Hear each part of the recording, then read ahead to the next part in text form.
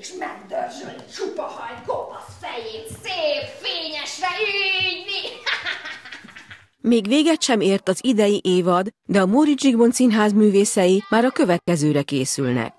A napokban a sajtó munkatársai láthatták, hogy milyen élményekben lesz majd része ősszel azoknak az óvodásoknak, akik megnézik a nagy utazó, maszmók legújabb kalandjait. A történet Észak- és Dél-Amerikában játszódik, témája pedig a bolygónk, a föld megóvása. A kalandok során maszmókkal együtt megismerjük a szíjú indiánokat, átmegyünk Mexikón, majd a Dél-Amerikába vezető keskeny földnyelven, egészen az Andokig, de kicsit belekeveredünk a Riói karneválba is. És ez a kisfiú, Maszmók, aki nagy indián barát, szereti az indiánokat, szereti az indiános történeteket, ő álmodja magát az indiánok közé, és mivel az anyukája aznap este, ami este ezt játszódik, éppen a tanulmányt ír a környezetszennyezésről, ez ugye, mint utolsó információk a gyerek fejében arról álmodik, és ezt rakja össze ő a környezetszennyezést, az indiánokat. A darab rendezője, a színház művésze íróként is részt vett a mesejáték elkészítésében.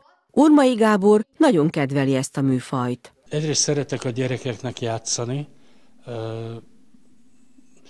Ugye ez ilyen általános mondat, hogy a gyereknek nem lehet mismásolni, ha unatkozik, ő nem udvarias, nem figyel oda. Igen, és ez igaz.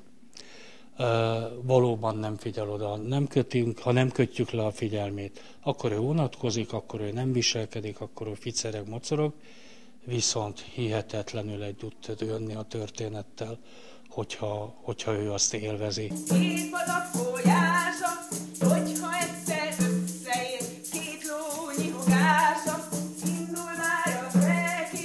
Az előadás zenei világa az észak-amerikai indiánok dalaiból, a mexikói és dél-amerikai maják, inkák zenéjéből épül fel, autentikus hangszerek kíséretében. A címszereplőt Friedrich Noémi alakítja, játszótársai Jenei Judit, Nagyidai Gergő, Horváth Viktor és Urmai Gábor. A mesejáték bemutatóját szeptember végén tartják majd a Móri Zsigmond Színház művés stúdiójában.